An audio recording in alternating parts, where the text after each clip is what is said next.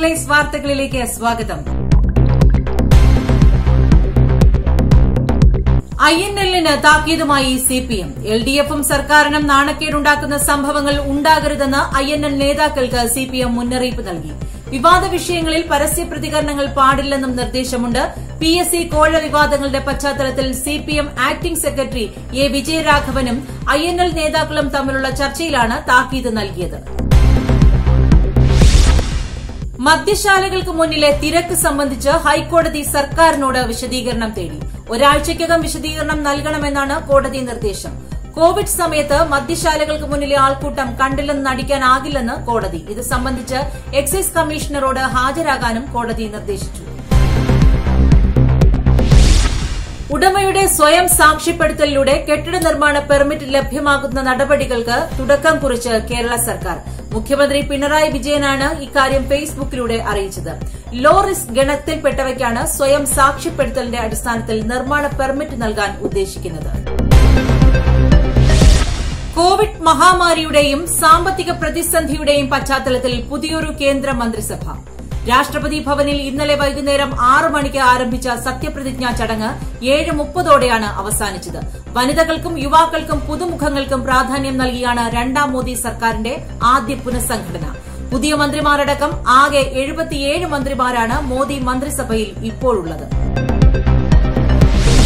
മനുഷ്യാവകാശ പ്രവർത്തകനും ഈശോ സഭ വൈദികനുമായിരുന്ന ഫാദർ സ്റ്റാൻ സ്വാമിയുടെ മരണത്തിൽ പ്രതിഷേധം ഉയരുമ്പോൾ അറസ്റ്റിനെ ന്യായീകരിച്ച് കേന്ദ്ര സർക്കാർ എന്നാൽ മനുഷ്യാവകാശം സംരക്ഷിക്കാൻ ഇന്ത്യ പ്രതിജ്ഞാബദ്ധമാണെന്ന് വിദേശകാര്യ മന്ത്രാലയം വ്യക്തമാക്കി കൂടാതെ ഫാദർ സ്റ്റാൻ സ്വാമിയുടെ മരണത്തിന് ഉത്തരവാദികൾ ആയവർക്കെതിരെ നടപടി സ്വീകരിക്കണമെന്നാവശ്യപ്പെട്ട് പത്തോളം പ്രതിപക്ഷ കക്ഷികൾ രാഷ്ട്രപതിക്ക് കത്ത് നൽകി കഴിഞ്ഞ തിങ്കളാഴ്ച ഉച്ചയോടെയാണ് മുംബൈയിലെ ഹോളി ഫാമിലി ആശുപത്രിയിൽ ഫാദർ സ്റ്റാൻ സ്വാമിയുടെ അന്ത്യം സംഭവിച്ചത് സംഭവിച്ചത്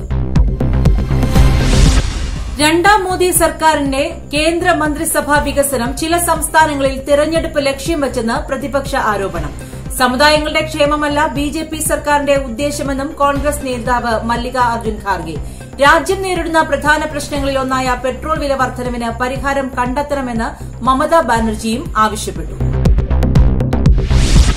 ജൂലൈ ഇരുപത്തിനാലിന് നടത്താൻ നിശ്ചയിച്ചിരുന്ന കേരള എഞ്ചിനീയറിംഗ് ഫാർമസി കോഴ്സുകളിലെ പ്രവേശന പരീക്ഷകൾ മാറ്റിവച്ചു ജൂലൈ അവസാന ആഴ്ച മുതൽ ജെഇഇ മെയിൻ പരീക്ഷ നടത്താൻ നിശ്ചയിച്ച സാഹചര്യത്തിലാണ് ഈ തീരുമാനം പുതുക്കിയ തീയതികൾ പിന്നീട് അറിയിക്കും കൂടുതൽ വിവരങ്ങൾക്ക് W W dot CEE dot Kerala dot G O V dot in എന്ന വെബ്സൈറ്റ് സന്ദർശിക്കുക ഇയുടെ കോവിഡ് പ്രതിരോധ വാക്സിൻ ലോകത്തിന്റെ വിവിധ ഭാഗങ്ങളിൽ വിതരണം തുടരുന്നു എമിറേറ്റ്സ് എയർലൈൻ അറുനൂറ് ടൺ വരുന്ന പതിനഞ്ച് കോടി ഡോസ് കോവിഡ് വാക്സിനുകൾ ആറ് ഭൂഖണ്ഡങ്ങളിലെ എൺപതിലേറെ സ്ഥലങ്ങളിലേക്കായി എത്തിച്ചു നൽകി കോവിഡ് വാക്സിൻ വിതരണം ചെയ്യുന്നതിൽ നിർണായക പങ്കുവഹിച്ചതായി എമിറേറ്റ്സ് സ്കൈ കാർഗോ അധികൃതർ വ്യക്തമാക്കി കോപ്പ അമേരിക്ക ഫുട്ബോളിൽ അർജന്റീന ഫൈനലിൽ എത്തിയതിനു പിന്നാലെ അർജന്റീനയെ എതിരാളികളായി കിട്ടണമെന്നും എന്നിട്ട് ഫൈനലിൽ വിജയിക്കണം എന്നുമുള്ള ബ്രസീൽ താരം നെയ്മറിന്റെ കമനിന് മെസ്സിയുടെ മറുപടി ഫൈനലിൽ എല്ലാവരും കളിക്കാനിറങ്ങുന്നത് വിജയിക്കാൻ വേണ്ടിയാണ് എന്നതായിരുന്നു മെസ്സിയുടെ പ്രതികരണം സംസ്ഥാനത്ത് വരുന്ന ഞായറാഴ്ച വരെ അതിതീവ്ര മഴയ്ക്ക് സാധ്യതയെന്ന് കാലാവസ്ഥാ നിരീക്ഷണ കേന്ദ്രം നാളെ മുതൽ ഞായറാഴ്ച വരെയാണ് അതിതീവ്ര മഴയെക്കുറിച്ചുള്ള മുന്നറിയിപ്പ് നൽകിയിട്ടുള്ളത്